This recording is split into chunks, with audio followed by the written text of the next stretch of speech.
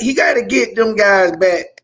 I ain't saying he got to hire back an old championship staff and they're like that. I'm not saying that, and I'm not saying anything wrong with the coaching staff that he has now. I ain't necessarily saying that. Probably one coach that Bill O'Brien. I, I, I probably he probably the least of my favorite. You feel me?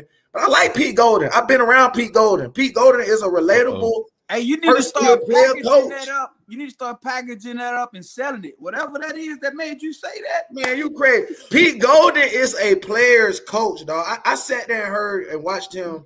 I had a conversation with him, but I also watched him communicate with other players and with former players. Like like when I was talking when I when I seen him when I first seen him really interact with former players was with um Reuben Foster.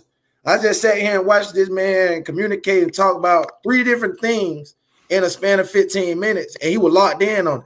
So why does it suck so bad as a coach in game situations? Nah, hey, hey, look, hey, look. That's on. That's almost so Coach Saban than it is big than it is than it is Pete Golding.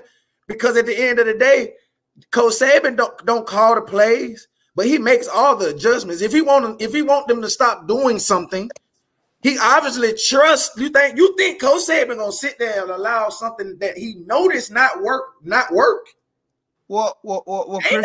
No well, Christion, I'll be honest with you. You know, I always relate it to to to the multiple child syndrome in the house. When that parent has that first kid and that second kid, they're a lot more uh, stern and strategic in how they raise those kids, opposed to as they get older and that last kid they come out, they just give him free damn run to go do whatever the hell he want to go do.